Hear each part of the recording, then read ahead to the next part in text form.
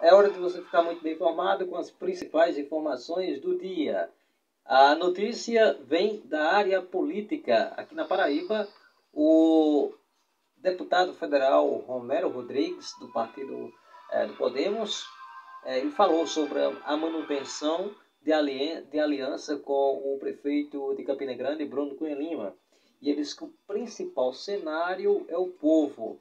O deputado federal Romero Rodrigues, do Partido Podemos, comentou nesta terça-feira, dia 6, sobre a relação e a manutenção ou não da aliança com o prefeito de Campina Grande, Bruno Cunha Lima, do Partido União Brasil, para as eleições deste ano.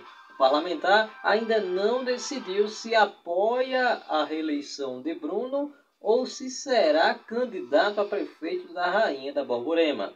Ele frisou que quem decidirá o seu futuro será o povo.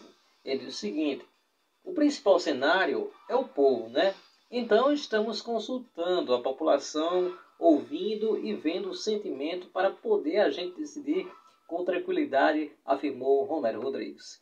Portanto, foi essa a principal notícia. Outras informações você acompanha em meu canal no YouTube também através das nossas redes sociais, Instagram, underline Ralf José, também através da página Jornal Eletrônico no Facebook e no Instagram estamos em arroba jornal, underline, eletrônico, underline.